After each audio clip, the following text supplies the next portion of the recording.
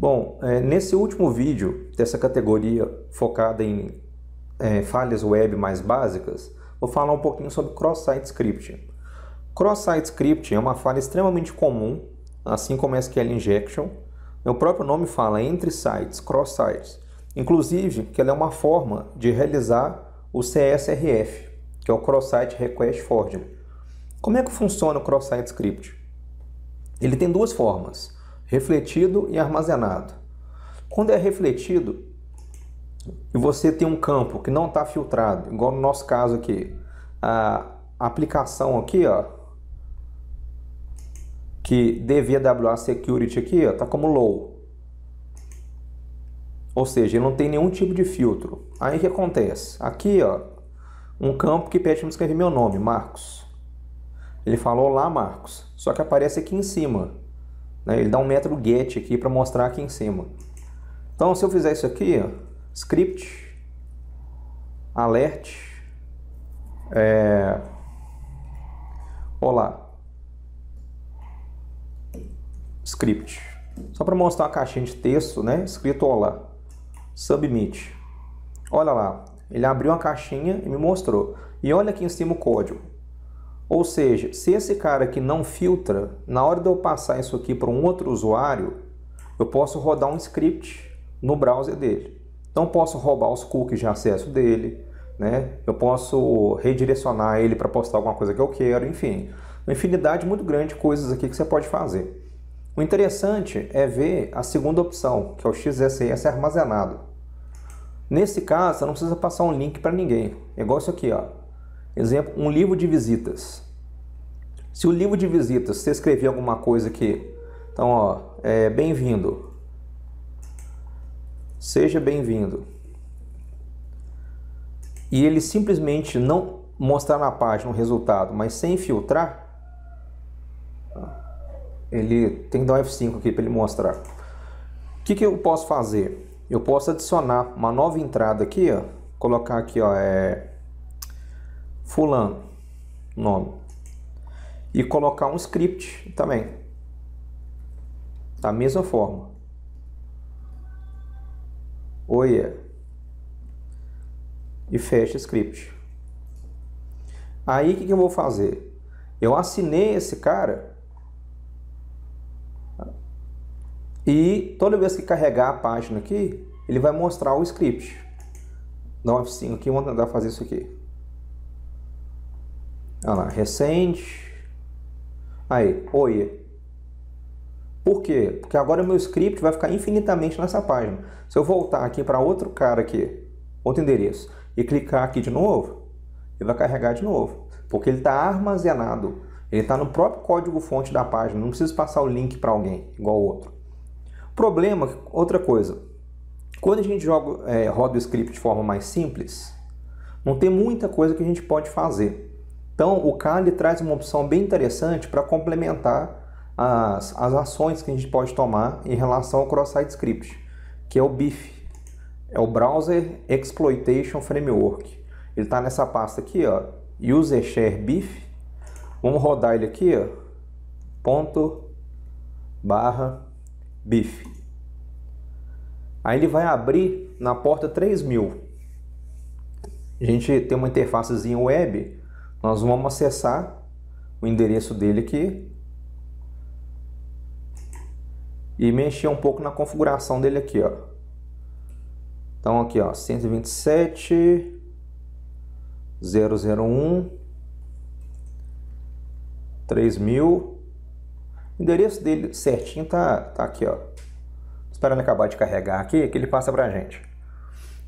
Qual é a ideia do BIF?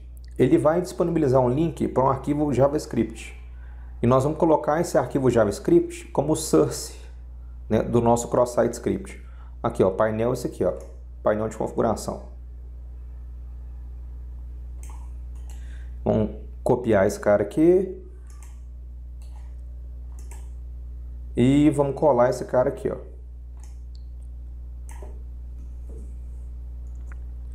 É beleza usuário BIF, senha BIF. Bom, já estou logado nele aqui. O que, que eu tenho que fazer agora? vim aqui na aplicação vulnerável, ou no armazenado ou no refletido, vou fazer no refletido aqui mesmo para mostrar. E aonde que estava, ver de novo aqui, ó, o alerta,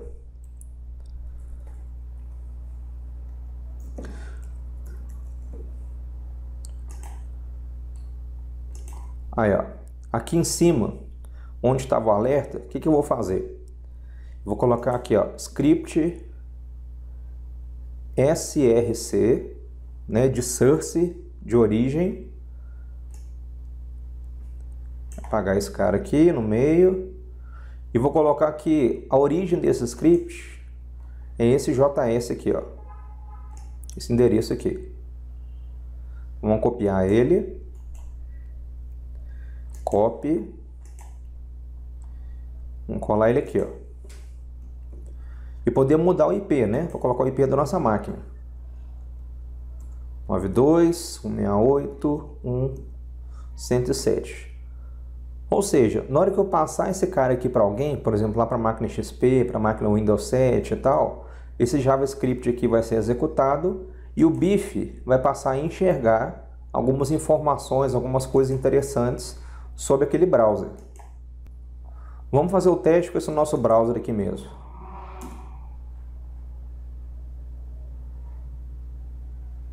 Ó, aparentemente ele executou, olha lá, ó, Rocket Domain 192.168.1.111 New Rocket Browser OS Linux. Vamos ver aqui o que eu consigo fazer nele aqui agora. Então tá aqui, ó. Tá mostrando o browser. Olha o tanto de informações que ele pegou do browser aqui, ó. Firefox, versão 38, plataforma, que é o sistema operacional, né? ActiveX. Ele tem a aba logs, né? Ó, o browser perdeu o foco na janela. O browser fez não sei o que. Por exemplo, vamos supor aqui, ó, que eu vou abrir a outra janela aqui e vou entrar num outro site qualquer. Vamos supor que eu vou entrar no site do Udemy mesmo.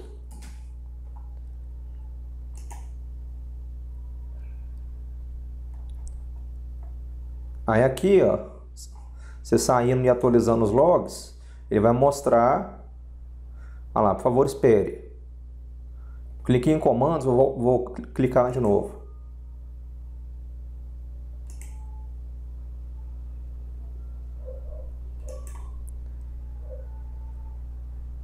Ele não atualizou aqui ainda não. Ele vai mostrar, né, basicamente, é, onde você entrou, o que foi que você fez.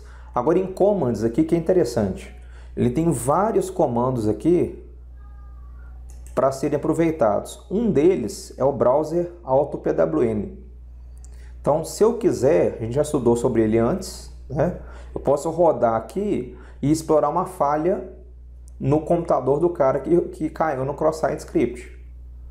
Tem outros exploits aqui né, que podem ser utilizados. Tem alguns aqui relacionados à câmera. Câmera Linksys, D-Link. Então tem extensões do Chrome, Network, persistência aqui, ó. A gente tentar manter o acesso, né, fazer um, um money middle, enfim, tem coisa demais para você fazer com ele aqui, ó. Tá? Tem muita opção mesmo. Aqui, ó, a gente pode fazer algumas requisições diretamente no browser do usuário. Dá para brincar, bastante. A ideia é essa. Né? Ah lá, por exemplo, aqui, ó, eu posso usar a máquina dele como um proxy, né? ou lançar o XSS Race, tipo uma extensão no domínio ou simplesmente deletar o zumbi. Então, assim, tem, tem muita coisa interessante que dá para brincar aqui. A ideia geral é só mostrar o perigo que isso aqui representa, né? Pois, olha, você vê, só de você abrir um link que estava direcionando para o JavaScript, o quanto de coisa a gente conseguiu fazer nesse navegador agora.